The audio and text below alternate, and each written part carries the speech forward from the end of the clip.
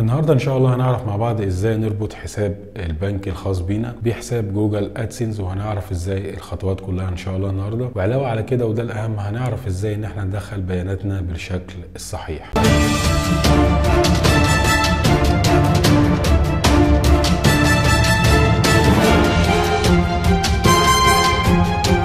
أهلا بيكم. إيه الأخبار؟ كل سنة وأنتم طيبين وإن شاء الله تكون أيام كلها خير وسعادة علينا كلنا. مسلمين ومسيحيين. إن شاء الله يعني. آه الملحوظة اللي أنا عايز أقولها قبل ما أدخل في موضوع النهارده هي بس يعني حاجة كالعادة دايما بقولها. الحاجات اللي هي بتبقى مهمة. طبعا أنا بطلب منك تركيزك رقم واحد لأن الموضوع يعني ما فيهوش استعجال. والحاجات اللي هي بتخص اليوتيوب عموما إحنا بنحاول نقول فيها التفاصيل الكافية وبنحاول ما نعديش أي ثغرة بحيث إن أنت نفسك تتفادى أي غلط. فبس اللي أنا بطلبه منك هو حتة التركيز آه الكافي. فحاول إن أنت تسمعني آه كويس يعني. تاني حاجة وده الأهم موضوع الحساب البنكي دوت. إحنا وإحنا شغالين دلوقتي مع بعض طبعا كالعادة هقول النصايح وهقول الحاجات اللي إحنا هنقف عندها بس أثناء وإحنا ما شغالين فيلا بينا نبدأ الشرح عن كيفية ربط الحساب البنكي بحساب جوجل آدسنس. أول حاجة حضرتك هتعملها إن أنت هتفتح متصفح جوجل كروم الخاص بيك وهتكتب كلمة جوجل آدسنس وبعدين هتختار تسجيل الدخول على جوجل ادسنس أو هتدوس هنا على كلمة جوجل ادسنس اللي هي قدام مننا ديت. بعد كده بيطلع لنا طبعا الصفحة اللي هي مألوفة بالنسبة لنا اللي هي بتاعه جوجل ادسنس بلاقي هنا على الجزء اللي هو على ايدي اليمين أكتر من choose كده قدام مني هختار منه حاجة واحدة بس اللي هي اسمها الدفعات. هضغط عليها بالشكل دوت.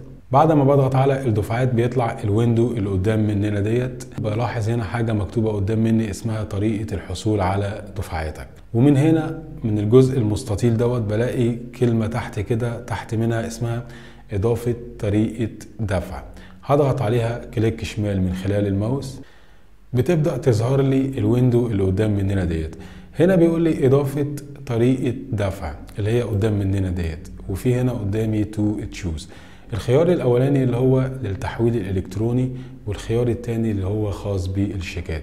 طبعا إحنا موضوع الشيكات دوت ملناش أي علاقة بيه وعشان بس يعني أنا خايف بس إن حد يسمعني يختلط عليه الأمر فمش هخش في تفاصيلها قوي ولكن موضوع الشيكات دوت اللي هو أنت بتتعامل بشيكات ولكن يوتيوب بيتعامل معاك بنظام التحويلات على حسابك البنكي.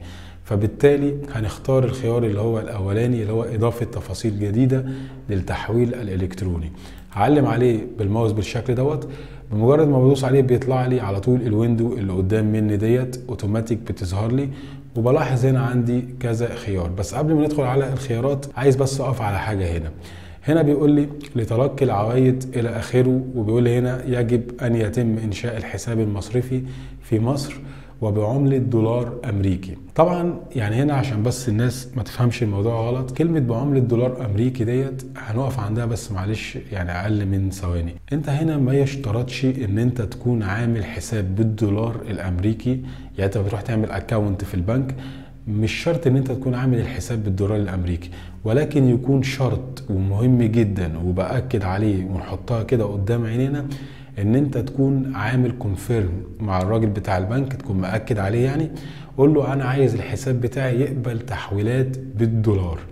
بقولها تاني وتالت وأنت بتروح تفتح الحساب بتاعك بتقول له أنا عايز حساب بنكي يقبل تحويلات بالدولار. وبالمناسبة أنا واحد من ضمن الناس اللي عامله بالجنيه المصري. يعني أنا مش عامله بالدولار أنا عامله بالجنيه المصري وبيقبل تحويل بالدولار. دي أول ملحوظة وقفنا عندها كده.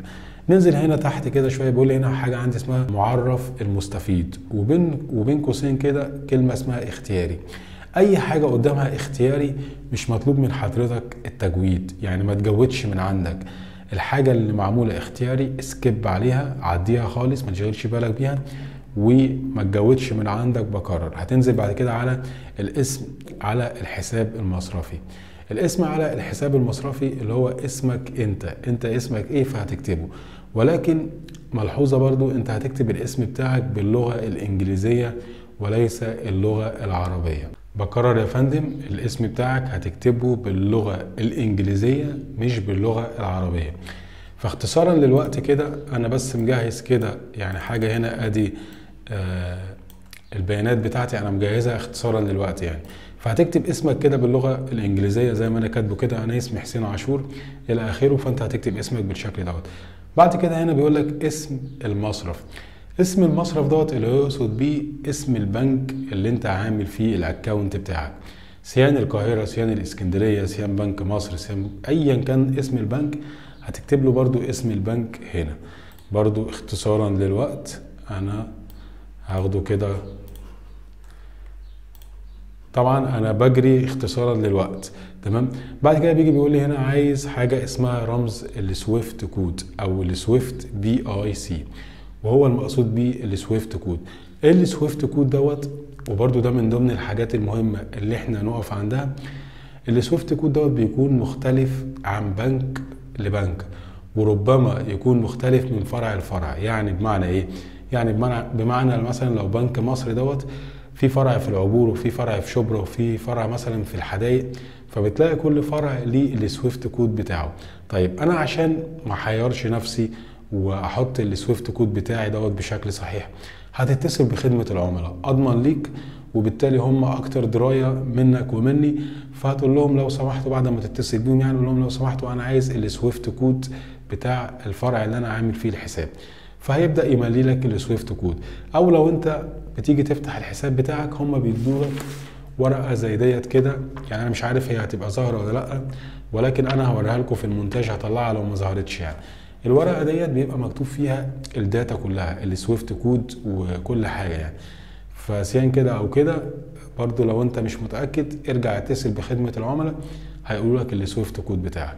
بعد ما بتكتب ال swift code الخاص بيك أو الخاص بالبنك نفسه أو الخاص بفرع البنك نفسه بتيجي بعد كده على حاجة اسمها بيقول لك رقم الحساب بصيغة ال IBAN وهنا برضو نقف مع بعض لأن دي من ضمن الحاجات المهمة. في بعض يعني يعني أنا مش عايز بصراحة إن أنا أتكلم عن غيري ولكن في بعض الشروحات عموما بيقول لك حط رقم الحساب البنكي بتاعك اللي هو تقريبا مكون من 16 رقم. وده يا حضرات آه كلام خاطئ.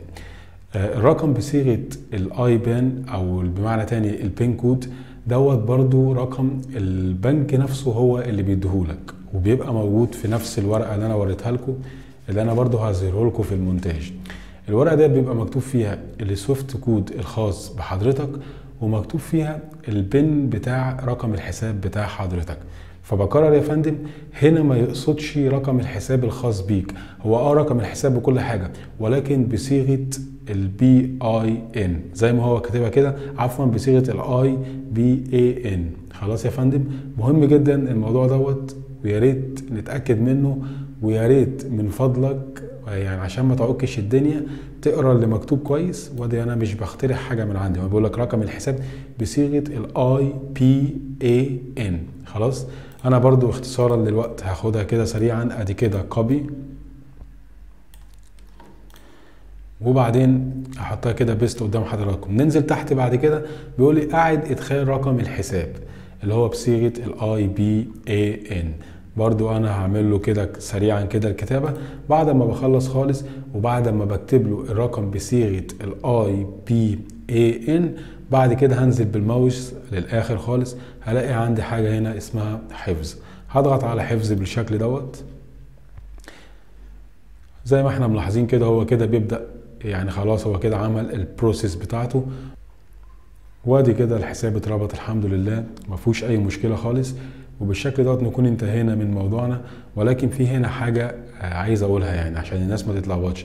الناس اللي هي القديمة اللي على اليوتيوب يعني بيبقى عندها هنا حاجة هنا عند كلمة الأساسية ديت معنى كلمة الأساسية اللي هو ده الحساب الأساسي بتاعك اللي هو يوتيوب أو جوجل هتبدأ تبعت لك عليه الفلوس. فلو في أكتر من حساب هنا موجود يعني أنت لو ضايف أكتر من account بتلاقي بس الخيار بتاع الأساسية دوت فيه كده زي سهم صغير بتقدر تعدل منه الحساب اللي أنت عايزه أساسي بحيث يتحول لك الفلوس بتاعتك عليه كل 21 يوم تقريبا أو كل نهاية شهر.